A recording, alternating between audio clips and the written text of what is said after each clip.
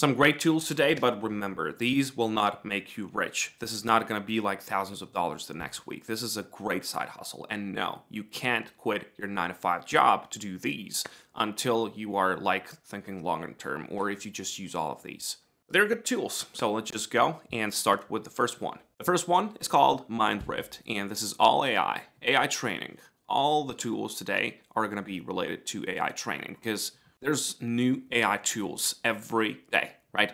We live in a world where everything needs to be automated. That's why we have a lot of these AI tools. But as ChatGPT asks you to give the feedback on the answers, that's how these tools are made. So they need us, all these platforms today they need us to verify the responses that their tools are giving, and you get paid for it. Now, you can have certain expertise, for example, in physics and teaching, writing, whatever, but there's also going to be a lot of jobs that don't require any expertise. You're going to get a little bit less money for those because, well, it's not paid as, for example, coding with Python is, but it's still good money, right?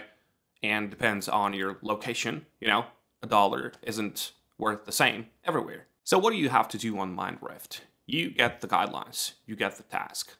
Then they will help you along the way. You will have tutors. They will train you before you go on and train AI. Then you complete a task, and of course, you get paid for it. On MindRift, you get paid twice a month, so that's like bi-weekly, and you can withdraw your money at any time. I'm going to talk about payment methods later on, but what do you have to do with MindRift? Just click on Apply Now. Then you have to choose for which one of these projects you want to apply to. You will have the test for each one of these, whichever one of these you choose. For example, US law, you're going to get a test for it.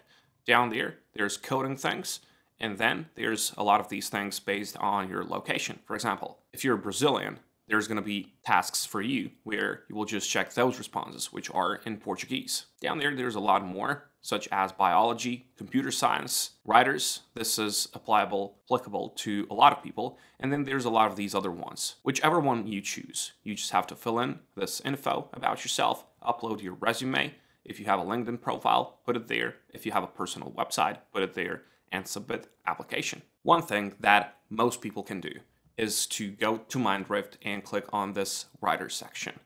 This is you teaching AI how to write, right? So you just check the responses. You use your skills to teach AI what the good text prompt or text response looks like, all right? And all you gotta do is to be good in English, right? When it comes to the payment options, this is Payoneer or Papara. So there's like only two of these now. I think they will add PayPal soon. So yeah, just be on top of it. The next one we know about it is Outlier, and seems like Outlier connected with Remotasks. You've probably heard of Remotasks as well. Outlier is over at outlier.ai, and there's a lot of work here to be done. Remotasks is merged somehow, and it happened recently. So it's basically the same platform because I wanted to log in with my Outlier account. So if you want to work on both, just use different emails, right?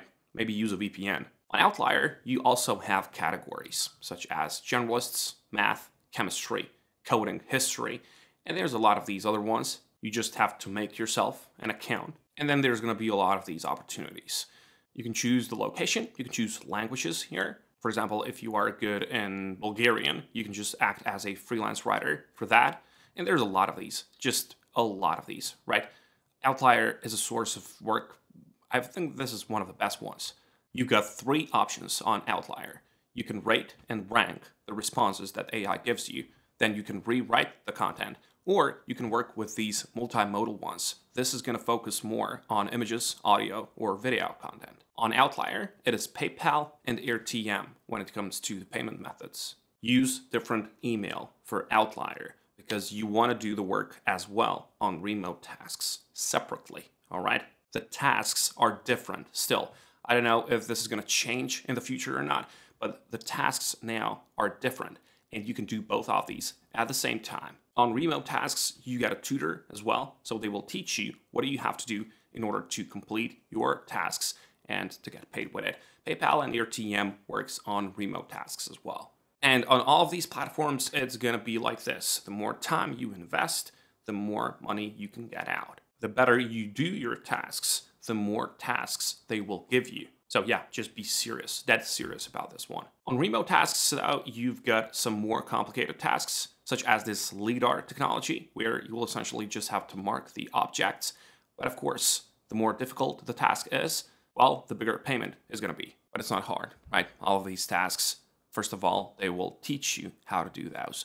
But in a nutshell, it is just navigating the AI to understand what it has to notice and to teach, to train AI so it can just go out to the public, right? It's easy. The third one is probably the oldest one, ClickWorker. Probably heard about it, but they've added a lot of training tasks, and all you gotta do on ClickWorker is to get yourself knowledgeable about these new tasks if you were doing the work for it before. They have a few interesting ones, such as this one, training of eye tracking tools. So this is just gonna be looking at your screen and moving your eyes left to right, right? So this is gonna be fun and so easy to do. And of course, a few other ones, such as facial recognition training. Now, the last one, probably heard about this one as well. It's called Toloka, and this is one of the most, the highest paying ones, but it works the same. Bring real domain expert knowledge to your language models you basically evaluate the models